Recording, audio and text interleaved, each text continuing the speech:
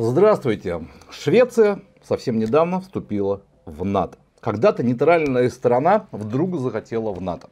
А вы знаете, в Швеции еще находится крупнейший лидер в своей отрасли завод по производству подшипников. Чистая выручка этого завода 450 миллиардов долларов. Сейчас, кстати, шведское предприятие по производству подшипников уходит из России. Вот тут бы очень пригодился томский подшипник. Если бы томский подшипник работал до сих пор, это и рабочие места, и деньги в бюджет не маленькие, и обороноспособность страны. Но не судьба. Кто-то заработал миллиарды на развале этого предприятия. Новые экономические законы, новые реалии. Пришли определенные люди, Алексей Вавилов, Ренат Аминов. И нет теперь завода, нет теперь томского подшипника. Теперь вот стоят корпуса красные, красивые, и жилищный комплекс. А построили этот жилищный комплекс Вавилов и Аминов. Кто забрал завод, тот и комплекс построил. Как удобно, как хорошо-то, да? Как выгодно самое главное. Скоро мы, кстати, выпускаем фильм, где более подробно расскажем схему, как томский подшипник, скажем так, поглотили дружественно. Алексей Вавилов и Ренат Аминов. Конечно, это был стратегический завод, который за несколько лет просто превратили в ничто. И представляете, прокуратура ничего не видит. Сейчас государство начинает понемножку возвращать некоторые предприятия, особенно стратегические, во-первых, ну потому что ситуация, она как бы требует таких действий. Да потому что она видит государство, как собственники новые этим всем управляют, что они там споры, дележка денег, вывод тех же самых денег куда-то, не выплата зарплат, и продукции как таковой нету, то есть предприятия не работают, или вообще прекращает существование это предприятие, как в данном случае, Томский подшипник. Кляйна, мэра Кляйна за 2 миллиметра чуть-чуть не посадили.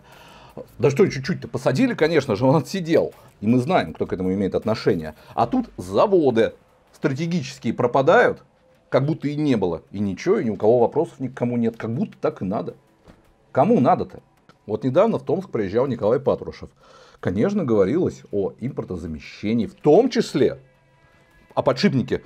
Зачем нам швейцарские подшипники? Зачем нам китайские подшипники? У нас когда-то были свои томские подшипники.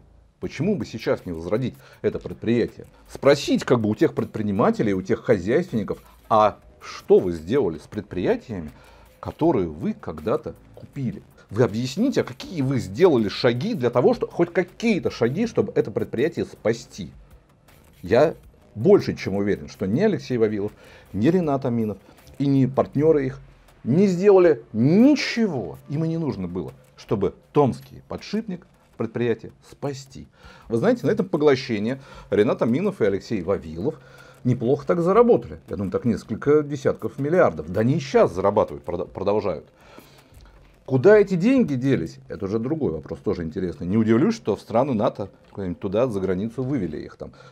Построили, может быть, торговый центр, тот же самый изумрудный город. Вы помните вообще сказку про изумрудный город? Откуда этот эта фраза взялась, что она значит на самом деле. Это люди, когда приходили в этот город, в изумрудный, им выдавали изумрудные очки, чтобы все казалось изумрудным. Изумрудный город, который принадлежит Алексею Вавилову, который тоже, в общем-то, деньги зарабатывает здесь. Куда эти деньги девают? Вот интересно, а в Томске дела так же обстоят? Когда приезжают какие-то чиновники, им тоже очки выдают, чтобы они ничего не видели, что в Томске творится? Вы знаете, у нас по Томску-то информации все больше и больше становится. И там настолько все и все переплелись, все так связано.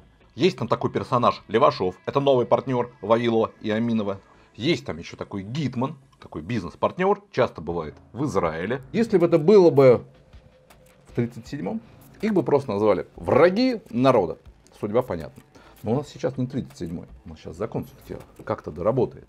Правда, некоторые люди помогают, делают так, чтобы этот закон работал так, как им выгодно.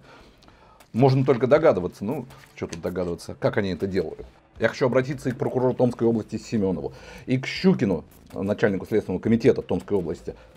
Посмотрите, тут же просто кладезь уголовных дел и подшипник. А сколько других там предприятий, мы скоро о них расскажем. Там виновные есть. Помогите своему государству, помогите России разобраться, вернуть то, что было вот таким сомнительным образом поглощено.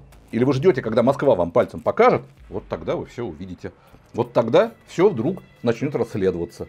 Мы можем только рассказывать, а и призывать, чтобы вы это все распространяли и комментировали как-то. Да? И чтобы люди, от которых зависит будущее нашей страны, у которых есть инструменты власти, обращали внимание на подобные дела, принимали меры. И таким образом, я думаю, что победа будет за нами. До свидания. Thank you.